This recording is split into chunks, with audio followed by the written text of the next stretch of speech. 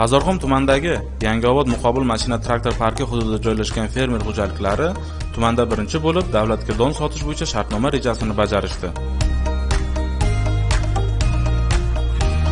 Ushbu hududdagi fermer xo'jaliklari tomonidan 800 tonnadan ziyod don mahsulotlari yig'ib olindi. Bugun Yangiobod xo'jaligida ko'ryapmiz. Ballamiz zo'r, yaxshi, nasib bo'lsa hamma planga chiqyapti, hamma fermerlar. O'tgan yilning kuzida hududdagi 5 ta fermer xo'jaliklari tomonidan 293 gektar ekin maydonida mahalliy iqlim va tuproq sharoitiga mos davr, bardosh, vassa kabi erta pishar va serhosil navli urug'lar ekilib, hozirga qadar zamonaviy texnologiyalar asosida parvarish qilindi.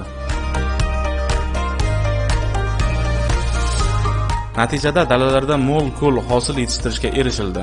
O'rib olingan maydonlarda o'rtacha hosildorlik 50-55 sentrni tashkil etadi. Xirmonga katta hissa qo'shgan Botir bobo, Qumtepa, Chaqpalak obod kabi fermer xo'jaliklarida bu ko'rsatkich 65-70 sentnerga yetdi.